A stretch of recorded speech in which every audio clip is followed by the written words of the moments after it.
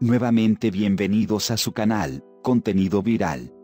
Antes de empezar, te pido que te quedes hasta el final, y déjanos saber lo que opinas en los comentarios.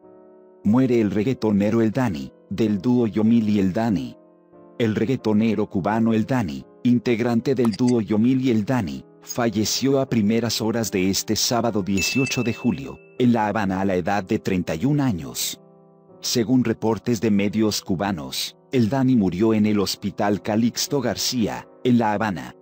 Aunque la causa de la muerte no ha sido precisada, fuentes cercanas a la familia del cantante indicaron al medio que ingresó al centro de salud por complicaciones en sus riñones, pero enfermeras declararon que habría fallecido por un paro cardíaco.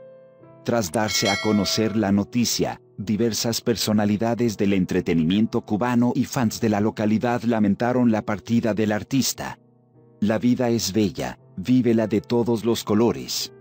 Así ponía el Dani en esta foto, y de esta manera lo recordaré, a colores. De veras siento su muerte, los que me conocen saben que soy fans del dúo Yomil y el Dani. No tengo maneras de expresar ahora mismo lo que sucedió, escribió el youtuber Frank El Maquina en su cuenta de Instagram. Daniel Muñoz, que artísticamente se hacía llamar el Dani, fue una de las figuras más populares del género urbano en Cuba. Antes de unirse con su compañero Yomil, estudió medicina.